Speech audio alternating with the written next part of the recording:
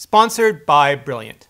I'm Rene Ritchie. Hit subscribe so you don't miss any of my WWDC 2020 deep dives, like this, on WatchOS 7. WatchOS 7 works on the 2017 Apple Watch Series 3, which, importantly, was just re-released in 2019 for just 199, as well as the Apple Watch Series 4 and 5. So, yeah, the 2016 Apple Watch Series 1 and Series 2 watches with the S2 and its S1P variant system and package, which were released with WatchOS 3, are no longer being updated. And, of course, not every WatchOS 7 feature, for example the widescreen watch faces, will be supported on the older, smaller design of the Series 3, but all the base stuff and security updates at the very least. WatchOS 7 is getting a bunch of features that are also coming to iOS 14. Since I already did a whole video on that, Seriously, hit subscribe. Everything is connected. I don't want to recapitulate it all here. But it includes cycling directions in New York, Los Angeles, San Francisco, Beijing, and Shanghai, which offer you a bunch of options so you can choose between the quickest, but maybe a more difficult route, like in streets rather than bike paths or with stairs or much steeper inclines, or easier but maybe longer routes. They're made especially big and easy to read on the Apple Watch, and you can search along the way for bike shops, restrooms, anything you want. Dictation is also going on device for Apple Watches with neural engines, which is the Series 4 and the Series 5, and starting with US English but with other languages to follow. Translation is being offered in 10 language pairs to start, and this Siri Shortcuts app is coming to Apple Watch and can even be added to complications. Can I get a finally? Year after year, Apple scratches things off my Apple Watch wish list. Onboard LTE, edge-to-edge -edge display, on-device app store, always on display, and this year, it's sleep tracking. And the implementation is both better and worse than I imagined. Let me explain. I originally wondered if Apple was going to restrict sleep tracking to new hardware, like the always on display, a new watch with a special low power and high sensor combination that just made it work. But they didn't. Sleep tracking is coming to existing Apple Watch owners, which is great. When you go into sleep mode, you also go into do not disturb, so you won't get beeped, you won't get buzzed, and the screen sleep locks so it won't brighten if you raise up your wrist unintentionally. If you do want to see date and time or alarm settings, you can still tap it or just press a digital crown. It all integrates with the existing iOS bedtime feature, but it's smart enough to realize that if you're still moving around, you probably aren't ready for bed yet. Also, if there's less than 30% charge on your Apple Watch, you'll get a notification so you can top it up while you're getting ready for bed. To help, there's a wind down mode, which can play soundscapes, run meditation or journaling apps, set home scenes, and otherwise help you get ready for bed. And to help you wake up, the bedtime system sounds and optionally the Taptic engine jump in. Then you get a good morning screen similar to what bedtime has been providing for the iPhone for a while now. If you wake up within a half an hour of your bedtime window, you'll be prompted to shut down the alarm so it doesn't bother you later. The watch's wake up screen also shows you its current charge level, so you can top it up while you're doing your daily ablutions as well. When it's charged, it'll ping your iPhones, you don't forget and just leave it on the charger. You can see your sleep stats, daily, weekly, and over time, which includes the hours in bed and actually asleep, and heart rate summaries. What you don't get is any breakdown of the kind of sleep though, like light, deep, and REM that other sleep trackers provide. And that's disappointing. Now, it's possible Apple just doesn't want to step too heavily on the toes of those other sleep trackers, which wouldn't be unusual. Quote unquote Sherlocking, which means building previously third party features into the operating system, is still highly controversial.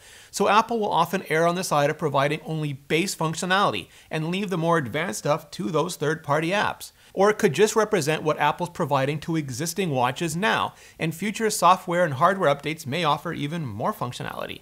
We live in the age of a pandemic where it's so hard just to get your average North American to stay home, to wash their damn hands, and to wear a mask that, as several other places around the world see their infection and death rates plummet, some of ours continue to soar. With that as the backdrop, Apple's adding an Apple Watch feature that they probably wouldn't have even considered more than a few months ago hand washing. It'll automatically detect when you start washing your hands based on your movements and the sound of soap and water, and give you a 20 second timer so you don't have to sing happy birthday anymore twice. Then Taptic you when you're done. Thanks to location awareness, it'll also remind you to wash your hands when you get home, and you can check in the Health app to see how long and how often you've been washing up. Apple's doing a lot more with sound recognition in general as well. Something I forgot to mention in the iOS video is that you can now set up accessibility to recognize alarms, pets, appliances, running water, crying, and screaming, and alert you. Whether you're low or no hearing or just tend not to notice when you leave the tap going, it's on device so it's private and it's just absolutely terrific stuff. Also, for your own ears, Hearing Health will now report your weekly dose of headphone sound intensity and notify you if you go over safe limits. New WatchOS also means new watch faces. Because watch, this year that's the Chronograph Pro, which sports a tachometer, and you can compute speed based on travel time and measure distance based on speed. X Large also has been updated with an X Large complication for people with low vision or massive desire for total watch domination. Plus, the Photos face now has dozens of color filters that you can apply to better match your band or just your mood. But I still wish Photos had much better, richer complication support as well. Not just because I want a proper Superman watch so badly, but because I legit think it would remove a ton of tension from the custom watch face crowd. My favorite new watch feature this year, though, by far, is face sharing. So if you make just the perfect travel or workout or hiking or biking or weekend or whatever brunching face and your friend wants it, you can just send it right over. From the iPhone, you go to the watch face gallery, choose the face, hit share, pick a contact and message, airdrop or mail it right on over. From the Apple Watch, you just long press on the face you want to share, tap the share icon, select the contact and it'll iMessage away. And yeah, I just said long press. Just like Apple has gone away from 3D Touch on the iPhone, they're now going away from Force Touch on the Apple Watch as well. RIP. Deleted. In most places, not even replaced with haptic touch, but just overt menu option. Here's hoping those will actually end up being even more discoverable to even more people, and six months from now, I'll barely remember Force Touch was even a thing. Which, Apple adds better machine learning to haptic touch, I may be able to do with 3D Touch as well. But I digress. Now, if one of you has a Series 3 and the other a Series 4 or 5, some translation will have to happen to the watch face due to the differences in the displays. Also, if the face uses third-party complications from an app, they'll be prompted to download those as well. The App Store will be posting curated watch faces to go with apps and themes, which is great, especially because apps can now offer multiple complications, so you can have a full-on Fantastical or Carrot Weather watch if those fine folks choose to make it so. And watch faces can be offered online as well, both on the web and through social. So companies, sorry, we call them brands now, my bad, I forgot. You, me, anyone at all can share our faves. A WatchOS update just wouldn't be a WatchOS update if it didn't also include new workout types. This year, that's dance, dance, dance, specifically Latin, Bollywood, hip hop, and cardio. It uses sensor fusion to figure out the asynchronous arm and leg movements, so you get credit for every single one of your uns, uns, uns, uns hot steps. There's also functional strength training for everyday activities like family sports, carrying things around the house, basically the work from home, workouts from home, all been doing. Core training and cool down as well. Selfishly, still no snow shoveling or taiji, but maybe next year. Also, activity is now fitness because the scope of what you can do is just so far beyond closing rings now. It's also been redesigned on the iPhone to improve the information density and glanceability of your data so you can find what you want and see it far more quickly.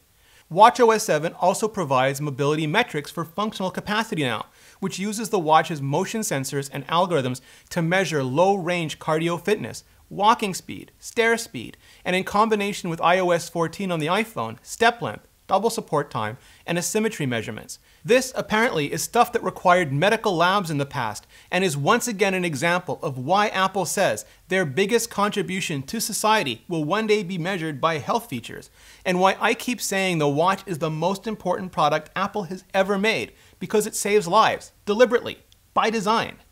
You'll be able to check out all of that in the Health app, and medical professionals can build for it with the new HealthKit features. How all of these machine learning algorithms work is beyond fascinating, and you can learn all about it with Brilliant's new neural networks course. Here's an example. You have to locate your keys, but your room is just beyond messy. As you look, your wall tiles change colors, revealing how close or far your last guess was from your keys.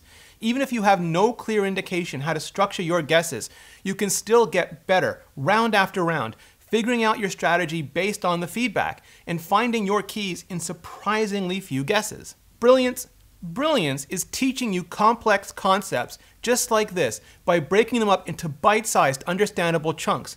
You start by having fun with their interactive explorations, but over time, you'll be amazed at what you can learn. go to brilliant.org slash Ritchie and sign up for free. And the first 200 of you can also level up with 20% off the annual premium subscription. Thanks, Brilliant. Thanks to all of you for your support. Check out the WWDC playlist for more, and see you next video.